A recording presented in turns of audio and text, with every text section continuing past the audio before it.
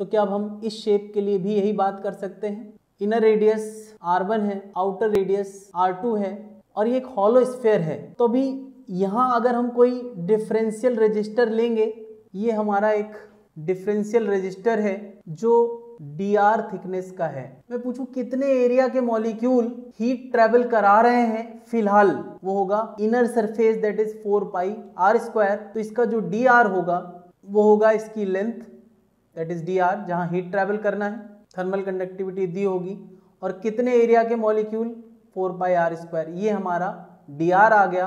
तो effective resistance R लाने के लिए हमें इसी डी आर का इंटीग्रेशन करना चाहिए। ये तो और आसान है। अच्छी बात यह है कि सारा डिस्कशन आर में ही है। हमने कोई नया वेरिएबल इंट्रोड्यूस नहीं कराया है। लिमिट आर वन से आर टू हो जाएगी। इंटीग्रेशन करके माइनस वन बाई आर आएगा।